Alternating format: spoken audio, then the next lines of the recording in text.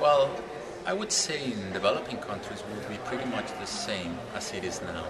But in developing countries, and especially in countries where there's a lot of censorship, the internet will be fragmented.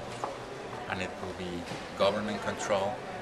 And chances are that the governments are will be controlling most of the content that is going through their networks and that is available to the citizens. So